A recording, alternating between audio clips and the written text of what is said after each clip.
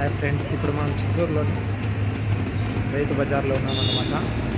నేను items purchase చేశాను.